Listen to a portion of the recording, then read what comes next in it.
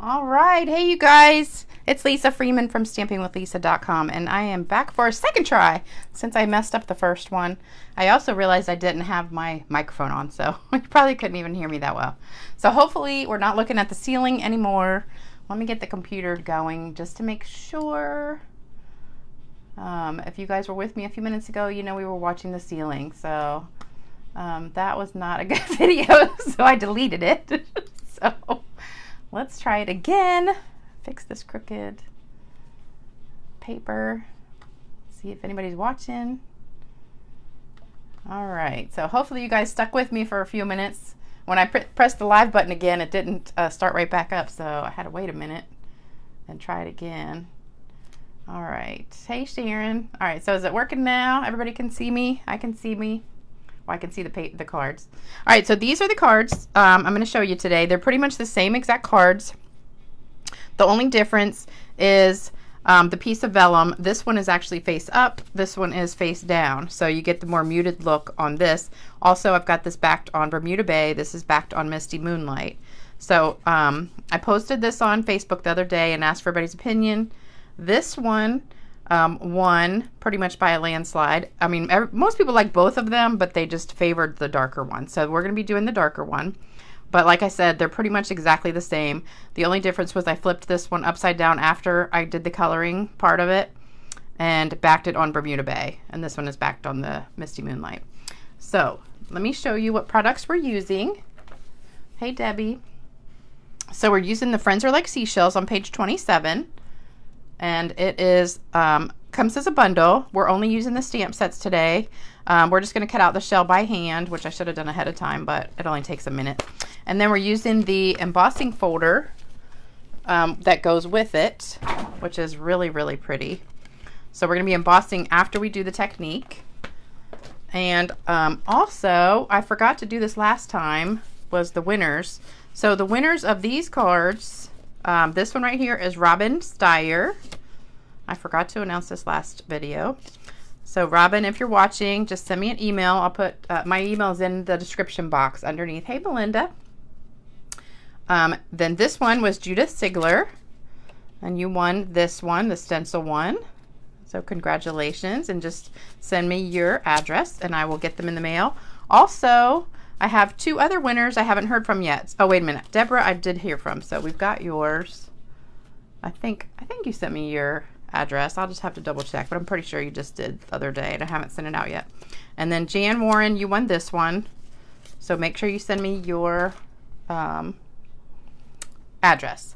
And then also we're having a free giveaway giveaway again. Um, so leave a comment or place an order to be entered into winning this stamp set. It's brand new. Um, it's still current in the Spring Mini catalog, and um, you could win this if you leave a nice comment or if you place an order. You get um, extra bonus entries if you place an order. So that's that business information. I've got my little protective sheet here. I got this on Amazon. These come like five in a pack. I cut this one in half because it was really big. And I'll put the link in the description box below the video on YouTube in case you want to order that um, it's like 10 bucks, I think, for five of these. So if you're a demonstrator, it's great because I did my class this morning and I bought two packs, so I had plenty enough for the class. Um, here's the paper products you're going to need. We need five and a half by eight and a half Bermuda Bay, four by five and a quarter Misty Moonlight, four by five and a quarter vellum, cardstock, scrap of white, and four by one and a half white. So those are all the papers you need. And then a piece of ribbon. And this is eight inches of the crinkle seam binding ribbon. And then you also need some of the twine, this blue and white, I don't know what it's called. It comes in that pack of three. Um, I don't remember which one it is though. It's on the ribbon page and pack, comes as a pack of three. All right, so first thing we're gonna do is start with the vellum. Take all these off. And you need some Stampin' Blends. And I should have brought the directions with me because I typed them all up nice and neat for everybody this morning. Um, and I can post that too and a picture of it. All right, so we're going to start with these three colors. So just pick any three colors you want. The darker blends work better for this. The lighter blends tend to fade out when you put the alcohol. So I've got dark Daffodil Delight, dark Bermuda Bay, and dark Night of Navy as my three colors. And I, I always like to start with the lighter one. And all you do is just scribble the color all over. And I'm sure you guys have seen this technique. It's all over the place. It's like the new fun thing to do. But I have a little twist to mine, so I'll show you that in just a sec. And then I'm going to use Bermuda Bay. And it's really just wherever you want to put it. No rhyme or reason. Just scribble it on here. And you want to kind of cover the whole page. So let me put a little bit more. Bermuda Bay is my favorite. And depending on what color your background here is, this is going to look totally different. So if it's on white, it's going to look different than it's sitting on blue. So when I put it on my card stock, um, to make the card, it's going to look totally different.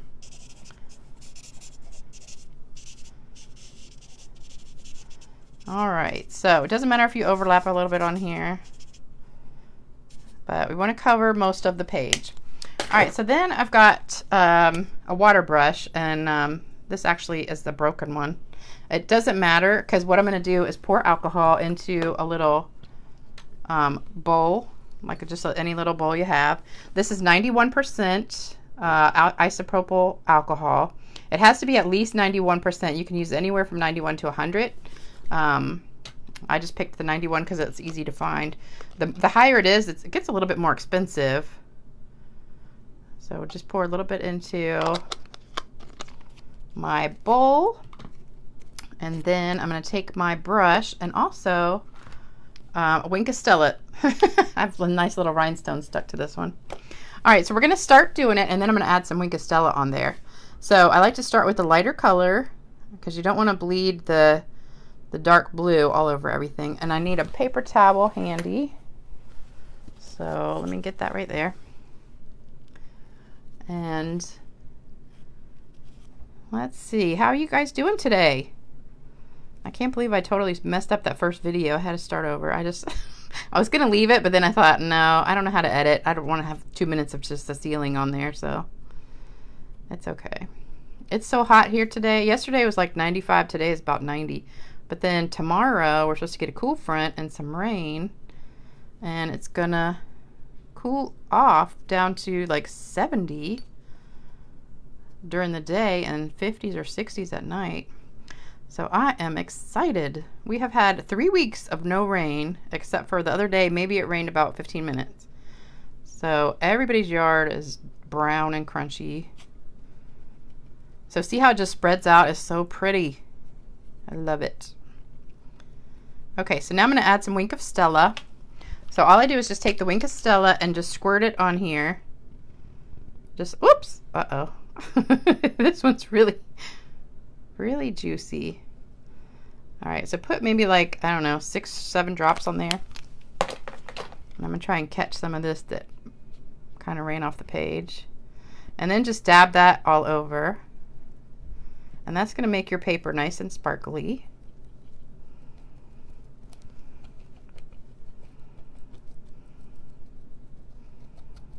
And I hope you guys can see this. It's so pretty. That Wink of Stella makes a big difference in how pretty it is. It's just so shimmery. And now Stampin' Up! has some shimmery vellum too, but it won't come out like this. It kind of looks like that new stamp set we have, the um, artistic etchings, or no, artistic expressions. No, no, I can't remember. Artistically inked. How can I not remember that's my favorite set? Well, it has different names. So it's artistically inked stamp set, I think, and then expressions in ink is the suite. All right, and then I like to splash some sprinkles on here after it's pretty much done and just see what happens.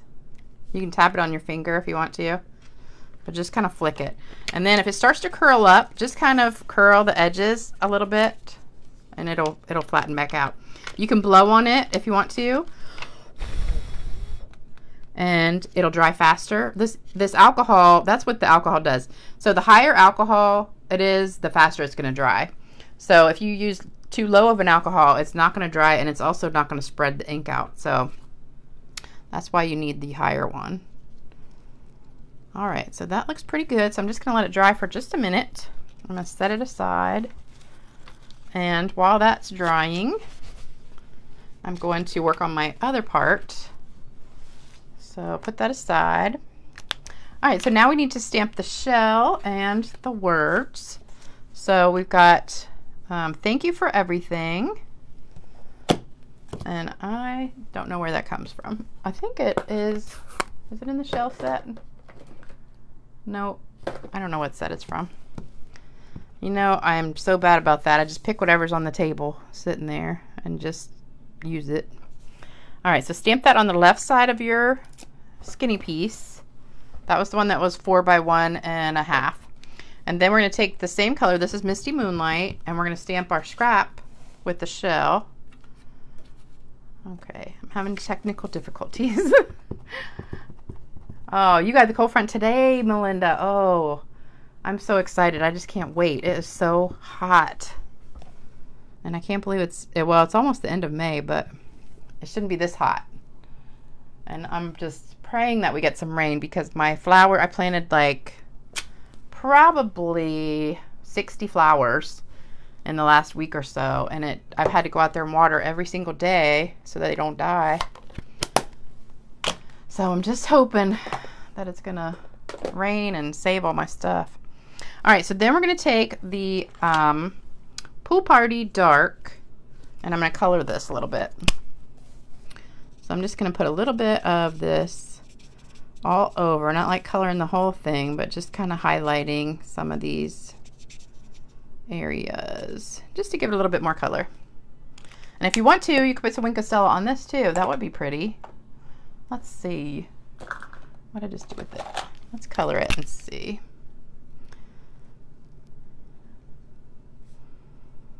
We'll put some Wink of Stella. Makes everything so much prettier. I love my sparkles. All right, so I don't know if you guys can see that sparkle on there. And then here, hopefully you can see this. It's almost dry, just a couple more drops on there. Can you guys see the sparkle on that one? It's so pretty. Love it, love it, love it. And really, depending on what color you put it on, it's going to change the total. It totally changes how it looks. So that's backing it with Bermuda Bay. And then if you back it with uh, Misty Moonlight, you get a totally different look. And then for that other card, what I did was I just put it upside down. But we're going to, as soon as it dries, we're going to emboss it. So make sure you watch how we do that. All right, I'm to cut this out real quick. It only takes a second. So after my story the other day, did any of you guys go to Chick-fil-A and get a um, frosty lemonade? I had um, one person um, send me a comment and she actually works at Chick-fil-A and she said if you're desperate to have one on Sunday, go to Chick-fil-A on Saturday and get a lemonade with no ice and get a ice dream. That's what they call it, ice cream. And then put that in the freezer, put the lemonade in the refrigerator. And then on Sunday, stick them both in the blender, blend it together and make your own.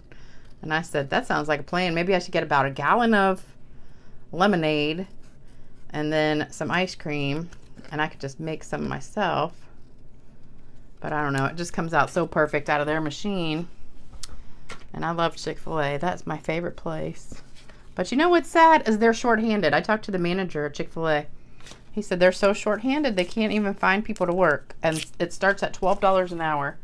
I said, that is crazy. I don't know what teenager would not want to have a job at Chick-fil-A. I would think that would be a great place to work. Um, if you can tell, I love Chick-fil-A. okay, so what we're going to do, I think it's just about dry, pretty much. All right, so here's my Misty Moonlight piece. And um, what I did, I tried different things. I tried just running this through itself, by itself. And then I tried gluing it down, running it through. But the problem, if you glue it down first, what happens is the tape will show. But if you glue it down after, the tape doesn't show.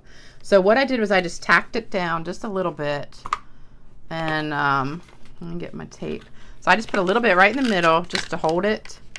And then if you want it more subtle, you can always flip it over and have it just the lighter color. But I like the, all the sparkles and stuff to show, so I did mine this way. All right, press it down right in the middle. And then I ran it through the embossing folder. Whoops.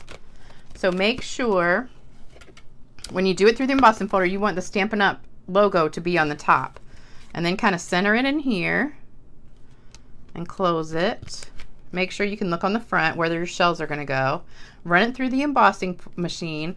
And when it comes out, it will look like this. So I did one ahead of time because, you know, I don't carry my machine in, in this room because it's too heavy and takes up too much room.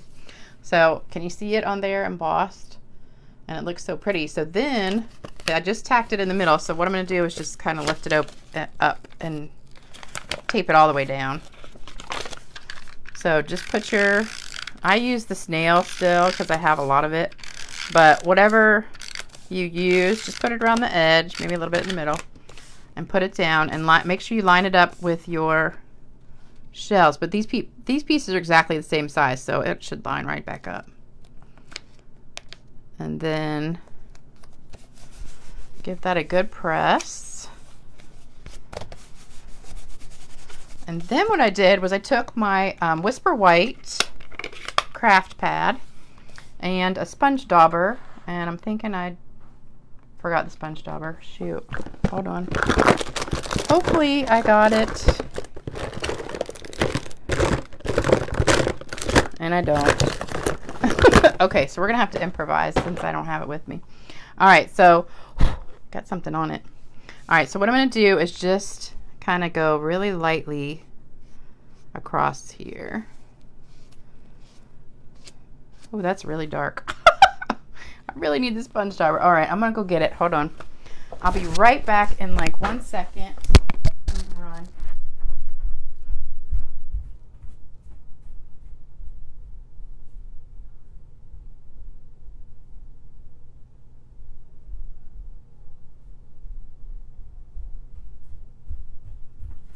Okay, I'm back.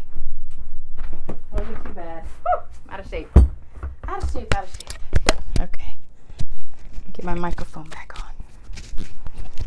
Almost decapitated, decapitated myself with the microphone. All right, so oh, this is an old sponge dauber. All right, so just lightly go across these shells and the seaweed and everything, and it's going to make it pop off the page.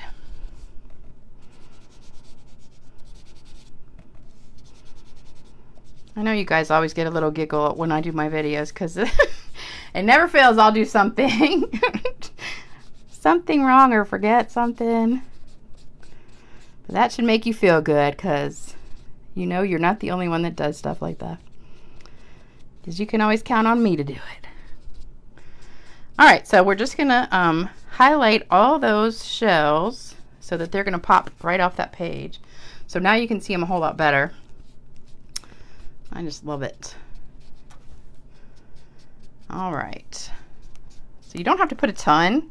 It's really subtle, but I love it. All right, so then we're gonna put our words right across the middle. And when I'm um, putting something to something that's embossed, gluing two things together, and one of them one of them is embossed, I like to use the green glue because it holds better.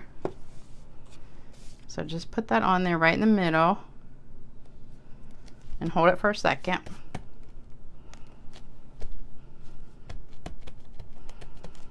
And then just make sure, looks like it's just a sliver over the edge. So I'm just gonna trim that real quick.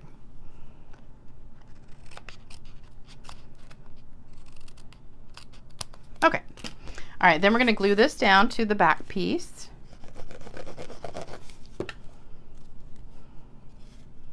and put that right on the front. Let me flip it over. I'm getting ink on my fingers. Okay, so there we go. All right, then we're gonna do the ribbon and stuff. So I've got my piece of ribbon, which has disappeared. Hold the phone, where did it go? Oh, here it is. All right, so this is the um, one that was like eight inches. So you're gonna put tape all over the back of your shell. And then I'm going to make like a little N, the letter N.